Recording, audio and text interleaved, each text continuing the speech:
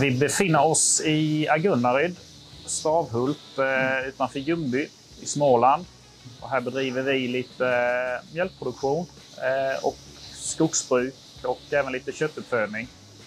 Vi odlar enbart vall då, vi håller inte på med spannmål överhuvudtaget. Då. Och nu köper vi in färdigfoder sen genom er då.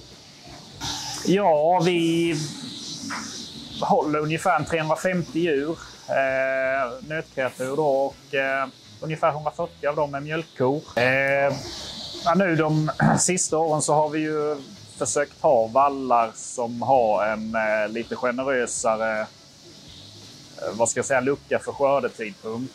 Eh, så man kan få vettiga värden på, på vallen. Och, eh, det har ju även fått till följd att man kan eh, köpa lite, lite billigare kraftfoder. Det ni skickade in, de proverna jag fick, så Det var hade lägre protein. Va? det var lite lägre protein och därför höjde vi snäppet lite på eh, kraftfodret. Men ni hade bra energi.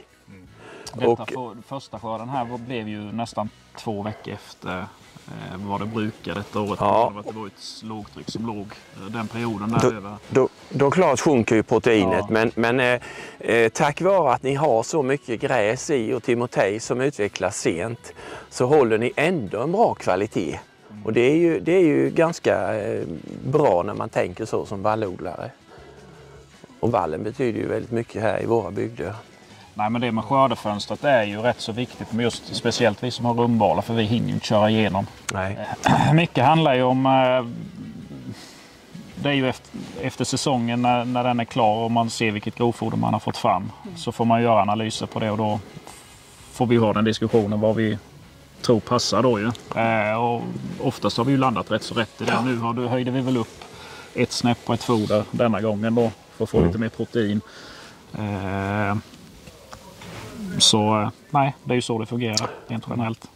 Eh, ni, har ju, vi, vi, vi, ni har ju växtodling också. Jag säljer ju vallen till er därvid och det är ju man tittar lite på vallblandningarna ni har och ni väljer ju ofta en vallblandning som är lite eh, tryggare, kan stå någon dag längre, inte så där intensiv. En vallblandning med mycket timotej har ni ju haft eh, de sista åren och det gör ju att ert foder blir väldigt smakligt. Och eh, på det sättet, så, i och med att ni är duktiga, både växtodlare och eh, djurbönder, så, eh, så har ni bra kvalitet på ett vallfoder. Och det gör ju att eh, ni kan använda de här kraftfoderna då som inte ligger kanske i, i allra högsta klasserna utan snarare i, i den andra divisionen, eh, lite lägre och ni får bra avkastning på det. Så att eh, det är ju det är ju bra när man kan titta på hela kedjan. Ofta kan det ju vara... Eh, det går ju aldrig att förutse hur marknaden beter sig. Eh, det är ju alltid en chansning när man ska gå in och köpa saker. Men det kan alltid vara skönt att ha en dialog innan man väljer att göra affär. Eh, och Jörgen, eftersom han har koll på marknaden så kan han ju ofta ge, i alla fall hans tips är ju bättre än våra chansningar. Hur det kommer att utveckla sig framåt. Det vill jag nog ändå så hävda. Ja, det, det, det stämmer ju. Alltså det är ju inte bara sälja idag. Det är inte det det handlar om.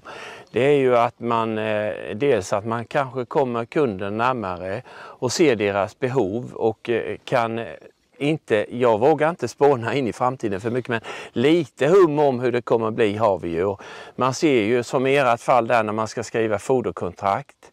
Då, då ser vi ju eh, hur det går upp och ner och när det är läge att göra det. Och då klart, då hör man av sig eh, och tycker att nu, nu är det dags. Ja, man vet ju vad som gäller. Det är ju, på så vis blir det ju enklare. Men sen är det ju...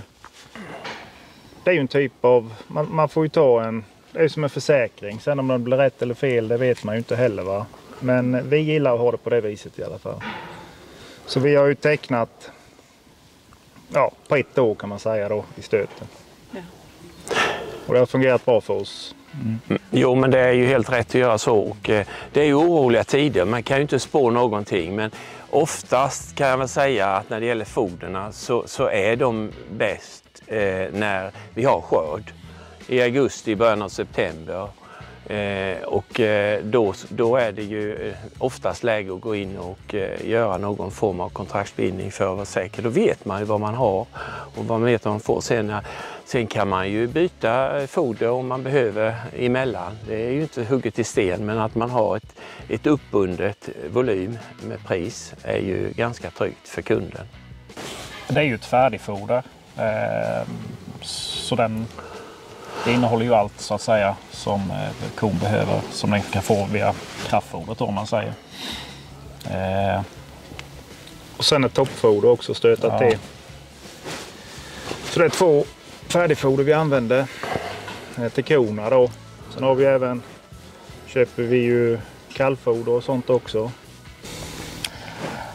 Nej men alltså det är ju en, en eh, en produkt med en hög kvalitet och det innebär ju inte bara ingredienserna som är i utan det är ju även en kvalitet att man kan hålla pelletsformer så man inte får det här med damm och, och, och, eh, och grejer i själva systemet som man utfodrar med. Att de håller sig rena och sen smittfritt. Alltså allt det här med salmonella och sånt idag är ju är man ju rädd för naturligtvis. Eh, därför är det ju bra att det är en, en relativt nybyggd eh, fabrik. Ju i Kalmar. Eh, och i övrigt är det ju det här som jag, att man har en diskussion och en dialog med rådgivning. Och... Jo men alltså det är bra för Jörgen eh, hör ju av sig om det är några kampanjpris eller Alltså man har ju en bra kontakt liksom och det är värdefullt. Eh, För man kan ju inte hålla koll på allting heller va. Utan nej, jag tycker det funkar jättebra. Jag måste säga detsamma som du sa. Det är ju fantastiskt och eh, har mer att göra.